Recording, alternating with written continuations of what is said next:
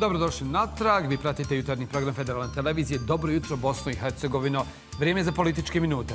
Kolegica Kristina Pranjić ovoga jutra u političkim minutama, gost Belmin Zukan, zastupnik SDP-a u Zastupničkom domu eh, Federacije Bosne i Hercegovine. Dobro vam jutro i izvoli. Dobro jutro, drage kolege vama. Dobro jutro i svim našim gledateljima. Baš kao što ste najavili, ovog jutra pričamo o radu eh, Zastupničkog doma Federalnog parlamenta. Belmin Zukan sa mnom u studiju. Dobro vam jutro i hvala što ste došli. Dobro jutro vama, vašim gledalcima i hvala vam na pozivu. E, evo, gospodine Zukan, u petak, čini mi se treći put za redom, e, nije održana sjednica Zakonodavno-pravnog povjerenstva na čijem ste čelu. Je li zbog ovog federalni parlament u blokadi? Sjednica Zakonodavno-pravne komisije nije održana već treći put u nizu i konstantno se ponavljaju identični, iste kolege zastupnici koji ne pristuju sjednicama i ovo u petak ujutro smo imali situaciju da je komisija bila zakazana za 10 ujutro i najave izostanaka, odnosno pravdanja izostanaka smo dobili to jutro sat ili sat i po otprilike pred samu sjednicu. Po nadležnostima koje zakonodavno pravna komisija ima u samom strukturi predstavničkog doma i važnosti odluka koje ona donosi, odnosno ono što su poslovnikom, trenutnim postojećim poslovnikom propisane njene obaveze, jasno je da skoro ni jedan dokument ne može doći na predstavnički dom bez odluke zakonodavno-pravne komisije ili da zakonodavno-pravna komisija barem nije razmatrala tu odluku. Stoga možemo govoriti, ako ništa, barem o blokadi zakonodavno-pravnog procesa i posljedice toga mi smo vidjeli već na sedmoj sjednici koja je održana Prije dva tjedna. Prije dvije sedmice, da. Održana je u općini Stari grad. Vidjeli smo da nijedan od tri predložena zakona, tri zakona koja su bila na dnevnom redu, nisu se mogli razmatrati bez zbog toga što zakonodavna pravna komisija ih prije toga nije razmatrala. I zbog toga bare možemo govoriti o blokadi zakonodavno pravnog procesa samim tim najvažnija nadležnost parlamenta federacije je potpuno zaustavljena, blokirana i time neće moći se razmatrati budžet federacije kada budemo ga imali na stolu. Bilo koji drugi zakon koji federalna vlada upućuje, a dolazi svakodnevno, neće se moći razmatrati dok zakonodavno pravnu komisiju ne izvučemo iz ovog stanja u koje smo dovedeni zbog ponašanja tri zastupnika koje dakle konstantno odbijaju se pojaviti. Dakle, to su zastupnici iz redova oporbe? Dakle, to su kolege Denis Grac, Mirza Batalović i Haris Ilajđić. Osim njih, dakle, komisija ima još pet članova koji redovno dolaze. To su tri člana iz reda stručnih javnih radnika, kolegica Delfa Dejanović i ja. Mi smo redovno tu na sjednicama. Tri člana komisije koja smo do sada imali su na neki način trenutno van komisije ili van parlamenta. To su prije svega kolege Damir Arnaut i Nezir Pivić koji su izabrani na duge dužnosti. Oni više nisu ni članovi parlamenta, a time ni komisije. Kolegica Adisa Kokićinović koja je početkom novembra od početka novembra na bolovanju, što je, što je počelo dakle, prije, prije ove situacije koju, koju imamo sa poslovnikom i, i, i cijelom ovom komisijom i, i cijelog ovog niza, koji smo, niza događaja koji smo imali, tako da i ona i nju smatram u tom dijelu ovaj, zastupnika koji su dakle, od, od prije cijele ove situacije bili ovaj, van, van, van, van same komisije. E, šta je onda rješenje u javnosti? Se spominju neka dva potencijalna rješenja. Jedno od njih je da e, svi zastupnici podnesu ostavke u povjerenstvima. Je li to uopće realno? Jer kako natjerati zastupnike oporbe recimo da podnesu ostavku na svoje mjesto?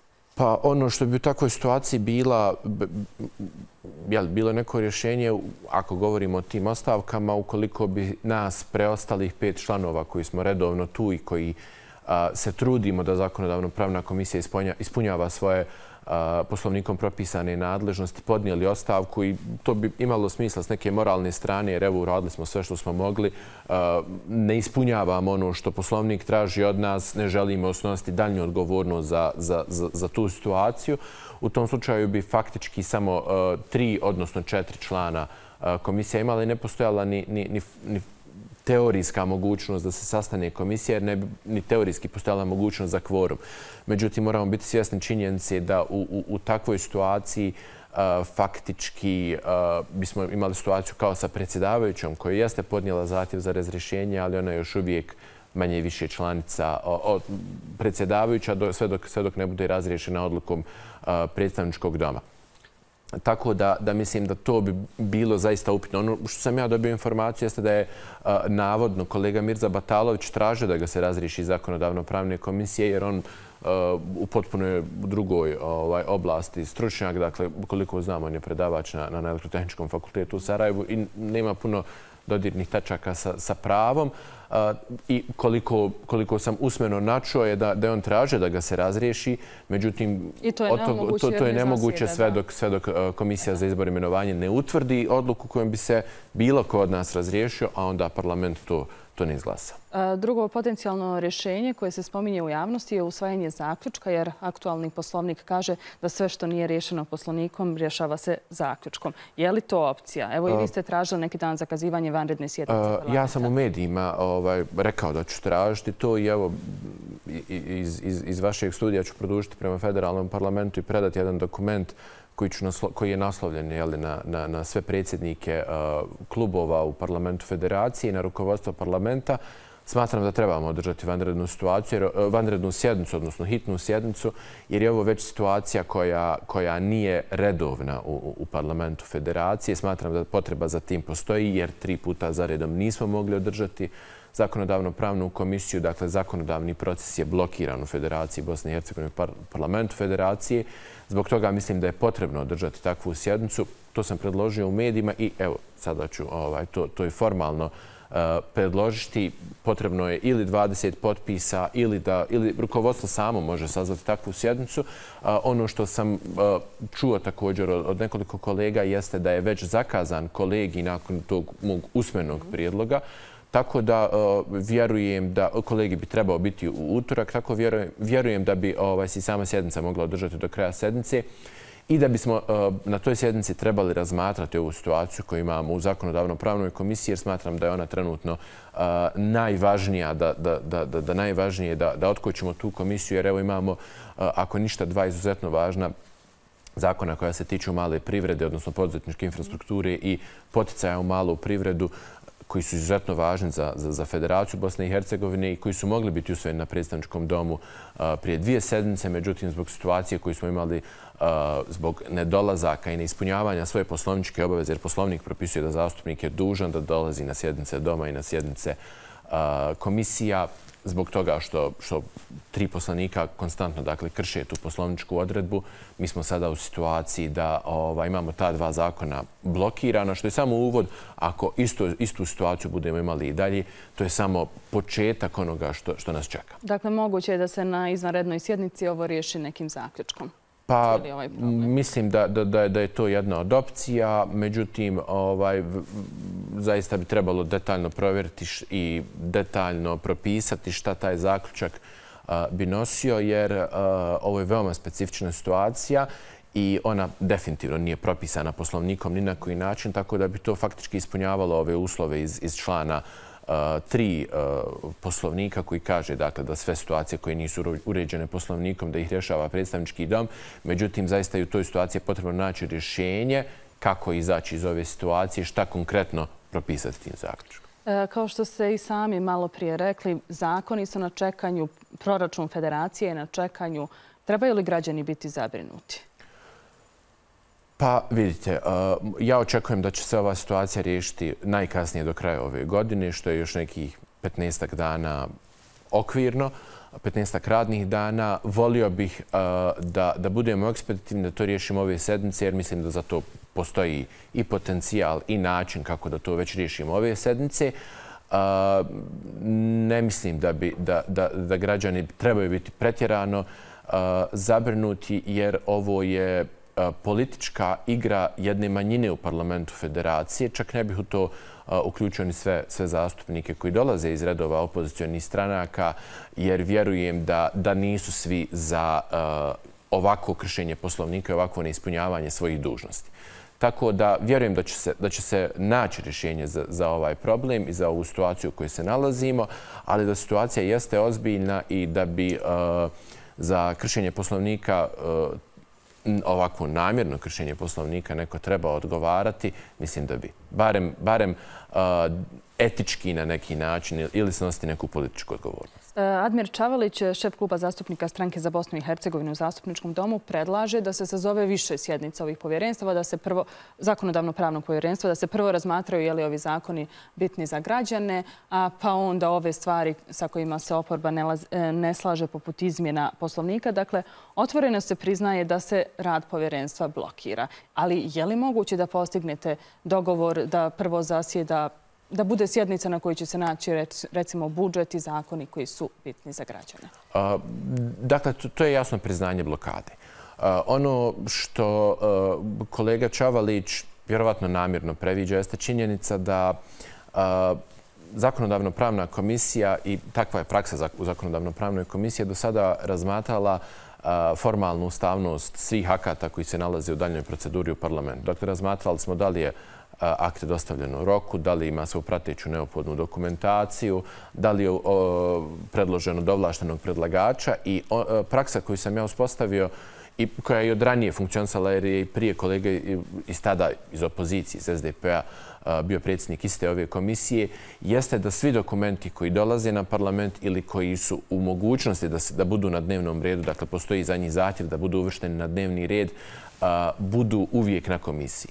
I mi smo imali praksu dakle, da stavljamo na tu komisiju, iako smo kroz to mi mogli onemogućavati bilo koji zakon koji su predložile kolege iz opozicije da bude na dnevnom redu, mi smo insistirali i ja sam insistirao da svaki od tih zakona treba biti na dnevnom redu, da treba dobiti mišljenje i da ga treba razmatrati zakonodavno pravna komisija, a onda o dijelovima tih propisa o kojim se ne slađemo ćemo razgovarati o njihovoj materiji, o njihovom meritumu na parlamentu. Isto tako ne vidim, jasno mi je da se ne slažemo i po pitanju poslovnika, da nemamo isto mišljenje, ali o tome treba da razgovaramo o institucijama, treba da razgovaramo na toj zakonodavno-pravnoj komisiji, treba da razgovaramo na razgovaramo na parlamentu, a ne da guramo sve te stvari po strani i da čekamo da se nešto desi, neće se ništa desiti ako ne počnemo razgovarati o tim stvarima o kojih nemamo isto mišljenje. I mislim da ni komisija ne bi trebala da izbjegavate bilo koje od, od spornih pitanja, nego stavit ćemo na to, nasto to u institucijama, tamo gdje trebamo o tome razgovarati i razgovarati i u zakonodavno pravnoj komisiji na parlamentu o svim pitanjima kojim se ne slaže. E, dakle, dnevni red sjednica je razlog zašto zastupnici iz oporbe ne dolaze ni na sjednicu Komisije za izbor i imenovanje, ni ove zakonodavno pravne. Imaju li oni uopće pravo da se izjasne o tom dnevnom redu kad sjednica počne? Prije svega, ja koliko sam shvatio na komisiju za izbor imenovanja, ne dolaze dok se ne završi ova četvrta, a ne žele da dođe na svaku sljedeću, iako su ovaj, dolazili na šestu, sedmu, petu sjednicu parlamenta, iako četvrta nije završena. I to je praksa koju imamo od prošlog parlamenta, od prošlog sazva parlamenta, gdje neke sjednice još uvijek nisu završene. Dakle, iz vremena kad je Mirsad Zajmović vodio parlament federacije.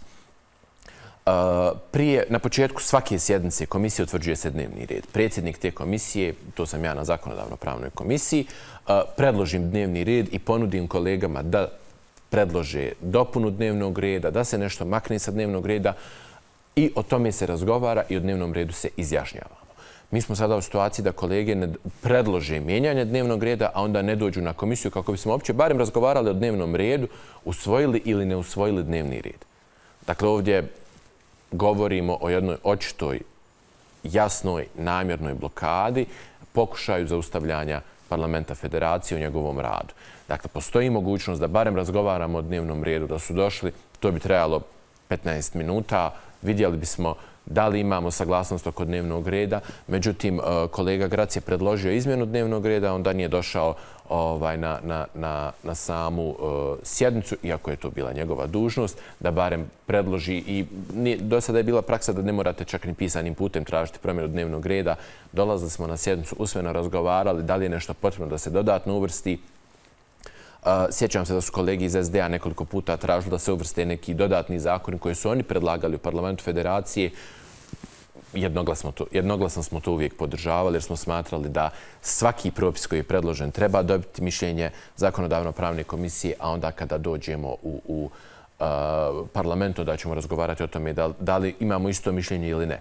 Čak u situaciji kada je parlament federacije birao ko će biti predsjednik federacije, budući da se tri izabrana kandidata nisu mogli dogovoriti, kolega Denis Grac između ostalog došao na tu sjednicu, rekao da se ne slaže s činjenicom da gospođa Bradara bude predsjednica, ali je glasao da ta odluka ima ovlaštenog predlagača, da je predložena u roku i tako dalje, jer je rekao ja ću uvijek podržati ako je nešto u skladu sa Ustavom, ovo jeste, i da proslijedimo to dalje ovaj parlamentu, a dalje ćemo o tome razgovarati. I ja sam baš zbog takvog njegovog stava od prije nekoliko mjeseci očekivao da ćemo i ovdje imati situaciju, ok, formalno e, poslovnik ispunjava sve pretpostavke da se nađe na dnevnom redu, da o njemu možemo razgovarati, a onda ćemo razgovarati o svim situacijama koje su propisane poslovnikom, novim izmenama poslovnika u parlamentu pokušati naći najbolje rješenje. Mi smo kao predlagači bili tu veoma otvoreni da razmatramo sve one konkretne prijedloge o kojim smo već imali priliku i da razgovaramo u nekoliko emisija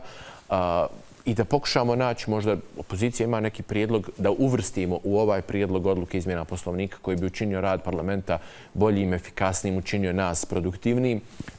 Potpuno smo otvoreni za to, ali evo u situaciji smo da se to uh, cijeli taj proces blokira.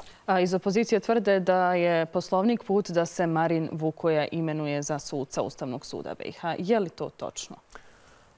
Obaveza Federacije Bosne i Hercegovine je da imenuje sudiju Ustavnog suda. Mi ćemo do kraja ovog mandata morati izabrati četvero sudija Ustavnog suda, budući da gospodinu Tadiću je već prošle godine istekao mandat i mi smo bili obavez da izaberemo njegovog nasljednika, odnosno njegovog zamjenika. I sada ćemo biti u situaciji da u svakoj sljedećoj godini, 24. 5. i 6. ističe mandat po jednom sudiju Ustavnog suda. I to je obaveza parlamenta federacije, odnosno predstavničkog doma, da izaberemo. Mi trenutno u situaciju u kojoj jesmo sa Komisijom za izbor imenovanja, koja od mjeseca maja mislim da se ne može od mjeseca maja mislim da se ne može sastati, nismo uopće u situaciji da razmatramo to pitanje na bilo koji način. Ono što opozicija osporava jeste da li ćemo imati jednog kandidata ili više kandidata, odnosno listu kandidata u predstavničkom domu na izbor. Međutim, o tome se uopće ne može ni razgovarati, ni razmatrati, sve dok ne budemo imali komisiju za izbor imenovanja koja će se moći sastati i o tome i razgovarati. A kamo li odlučivati? Dakle, smatram da je to prije svega jedno pitanje iz budućnosti, jedno hipotetsko pitanje, jer u ovoj situaciji imamo komisiju za izbor imenovanja koja uopće o tome ne može razgovarati na bilo koji način. A kamo li uraditi nešto i proslijediti parlamentu, odnosno predstavničkom domu, na daljnje razmatranje? Da, ali evo oni kažu da nije to baš logično da se ta komisija popunjava samo prvi sa liste kluba iz kojeg su otišli zastupnici, jer onda tu neće doći stručni ljudi. Mi danas nemamo stručni ljude u komisijama. Evo sad sam pomenuo kolegu Batalovića koji je profesor na elektrotehničkom, ili docent, izvinjavam se ako pogriješim, na elektrotehničkom fakultetu, ali je član zakonodavno-pravne komisije. Nemaju sve stranke, dakle, kadrove za svaku od oblasti. Isto tako, ta dva člana e, koje oni problematiziraju sa popunjavanjem komisija primjenjuju se tek ako komisija za izbor imenovanja u roku od 30 dana e, ne riješi to pitanje. Dakle, i dalje će biti prostor da stranke predlože kako će e, rasporediti svoje zastupnike u nekoliko različitih komisija u kojim imaju ovaj, predložene članove. I ako ako komisija za izbor imenovanja to ne uradi, onda će postojati tek eh, taj ta situacija da će se oni imenovati automatizmom, jer u suprotnom možemo doći u ovu situaciju da su komisije nepopunjene, da imamo mogućnost za ovakve blokade. E, da se vratimo još kratko na Marina Vukoju. U javnosti se pojavila informacija da dva zastupnika SDP-a neće glasati za Vukoju. Je li to možda razlog zašto HDZ insistira da se razmatra samo jedno ime i znate li ko su ti zastupnici? Ja nemam takvu informaciju. Opet ponavljam, to je pitanje iz budućnosti. Mi nismo razmatrali to pitanje osim u smislu da li ćemo imati jednog kandidata ili listu kandidata na klubu zastupnika. Dakle, još uvijek ne postoji ta uopće odluka, ali ono što su e, dvojica kolega koji su bili članovi za, e, Komisije za izbor imenovanje insistirali jeste da imamo e, listu kandidata u predstavničkom domu i to su kolege Žuljević i Mašić. Uopće, dakle, o tome se nije pričalo i mislim da je to, opet ponavljam, hipotetsko pitanje i da o tome trebamo razgovarati tek kad budemo imali mogućnost da to pitanje riješimo. E, je li plan da se Elzina Pirić imenuje u povjerenstvo za izbor i imenovanje, da, kao što ste rekli, kolege, e, vaše kolege Aner Žuljević i Damir Mašić ne bi morali glasati da se u parlamentu uputi samo e, ime jednog kandidata? Prva sporna komisija za izbor i imenovanje koja nije održana je imala upravo za cilj da popuni radna tijela, odnosno između ostalog i komisiju za izbor i imenovanje i sve ostale komisije koje su nedostale, pa i zakonodavno pravno, jer je tada nedostajao samo kolega Arnaut tada je bio već e, dostupan materijal e, članovima te komisije, a nakon toga i članovima parlamenta, kako će se to izvršiti. Nedostajalo su dva člana iz HDZ-a u komisiji za izbor imenovanje i iz te odluke je bilo vidljivo da će se zamijeniti samo ta dva člana koja već su upražnjena, ta dva mjesta koja su upražnjena, e, zastupnicima koji ulaze iz HDZ-a. Dakle, HDZ bi samo zamijenio svoje članove. I to je bilo jedino što se menjalo. Nisam sada siguran da li su još neki drugi članovi iz drugih stranaka bili promijenjeni, ali znam sigurno da ovo četvero iz opozicije nisu bili promijenjeni. I nije postoji opće prijedlog da se bilo ko od ta četiri imena razriješi dužnost da bi se imenao neko iz koalicije vladajuće. Tako da je to jasno da to nije bilo ni tada namjera, to nije ni sada namjera. E, I evo još e, za kraj, e, Mirjana Marinković-Lepić e, je na bolovanju. Svoje ovlasti prenijela je na Mladena Boškovića. Je li u skladu sa Ustavom da na čelu oba doma federalnog parlamenta bude čovjek iz istog konstitutivnog naroda? Trenutno na čelu Doma naroda je osoba iz reda hrvatskog naroda. Na čelu predstavničkog doma je osoba iz reda srpskog naroda. Dakle, tu govorimo o dužnosti predsjedavajućeg Eh, kolega Bošković nije predsjedavajući, on je i dalje dopredsjedavajući prenosom Prenosom ovlaštenja kojima predsjedavajuća on ne postaje predsjedavajući, jer e, kada bismo to na taj način tumačili, onda kolega Bošković ne bi smio ni u jednom trenutku predsjedavati, ni jednom sjednicom obavljati bilo šta što je iz ovlaštenja predsjedavajućeg. Dakle, to je, po mojom mišljenju, potpuno pogrešno tumačenje. Dakle, nije sporna ni ona sjednica čija se ustavnost ispituje, kojom je predsjedavala Edina Gabela, a na kojoj je usvojen rebalans proračuna. E, E, po mom mišljenju nije. Tu se osporavalo dakle, pitanje e, sazivanja sjednice, budući da je kolegica e, Marinković-Lepić e, poslala poziv za tu sjednicu i organizovala kolegi prije te sjednice, a da prije toga nismo imali situaciju e, da da je ona, imali smo dakle situaciju da je ona već podnijela ostavku. Međutim, moramo shvatiti da ostavke na bilo koju dužnost unutar parlamenta, ne na dužnost zastupnika, može se primjenjivati tek nakon što, vas, nakon što tu odluku utvrdi Komisija za izbor imenovanje i parlament vas razriješi.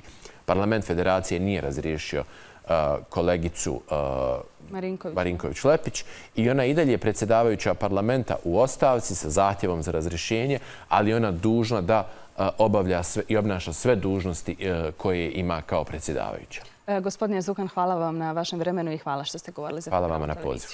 E, Belmin Zukan, zastupnik SDP-a u Zastupničkom domu Federalnog parlamenta, bio je naš gost ovoga jutra u političkim minutama. Od nas toliko kolege, studio je vaš.